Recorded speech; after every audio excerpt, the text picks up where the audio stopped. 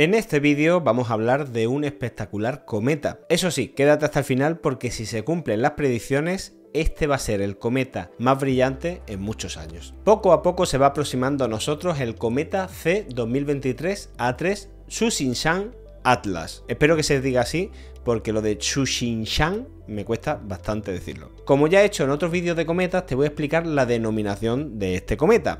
La C es de cometa no periódico. 2023 es el año de descubrimiento del cometa. El A3, ¿qué significa el A3? Pues se le va poniendo una letra a cada quincena del mes.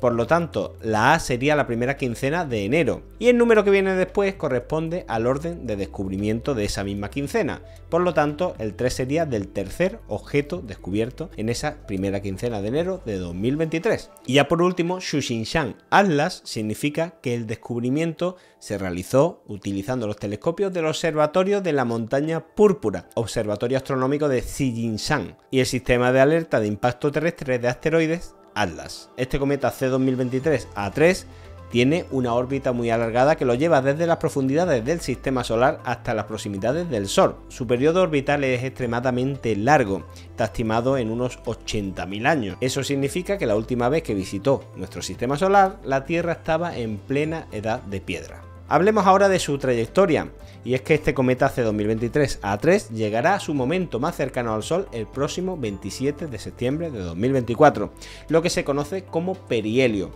Los astrónomos están bastante entusiasmados porque si las condiciones son las adecuadas podría ser visible a simple vista. ¿Dónde y cuándo podemos verlo? Pues desde ya se puede ver con telescopio ya que es muy poco brillante y está muy pequeño todavía, pero se puede ver. ¿eh?